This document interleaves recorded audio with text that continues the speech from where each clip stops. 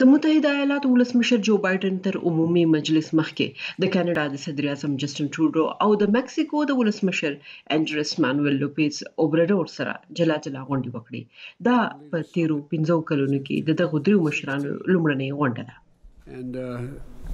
د شمالي امریکا د راتلونکي لپاره زمونږ لیدلوري زمونږ ګډ قوت او همدارنګه درې فعال دیموکرات هیوادونه دي چې قوي نفوس لري او داسې اقتصاد خوندان دي چې د ګډ کار کولو هیله لري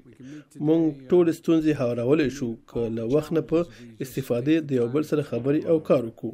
مونږ باید وبا ختم کړو او اقلیم کړکېچ د پای ته رسولو لپاره قاطع اقدامات وکړو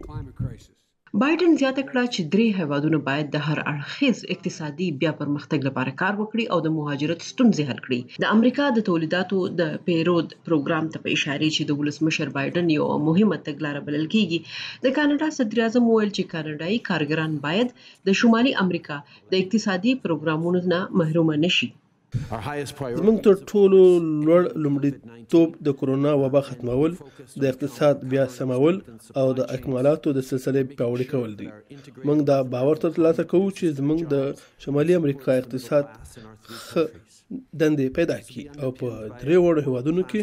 له منځنۍ طبقې نه ملاتړ وشي. امریکا چین خپل سیال بولی د مکسیکو ولسمشر ویل چې اقتصادي پرمختګ د چین د مخنیوي لپاره یو بل بدیل لار ده د مکسیکو ولسمشر په ځانګړي توګه د ولسمشر بایدن وړاندیز ته اشاره وکړه چې غواړي په امریکا کې د 11 میلیونو خلکو د مهاجرت وضعیت سم کړي موږ مکسیکویان به متوجه یو او په مناسب وخت کې به خپلې څرګندونې وکړو.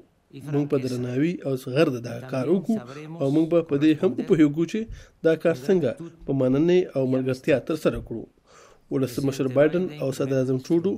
موږ یقینا موافق یو چې په سختو ستونزمنو حالاتو کې مو باید ژوند کړی وای او همدا د تاریخ د بدلولو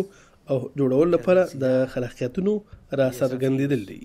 د مکسیکو ولسمشر او کاناډا صدراعظم د امریکا د ولسمشر د مرستیالې کاملا هریس سره هم په دوه اړخیزو مسایلو خبرې کړې دي. نذرانه یوسفزۍ، اشنا ټلویزیون، واشنګټن.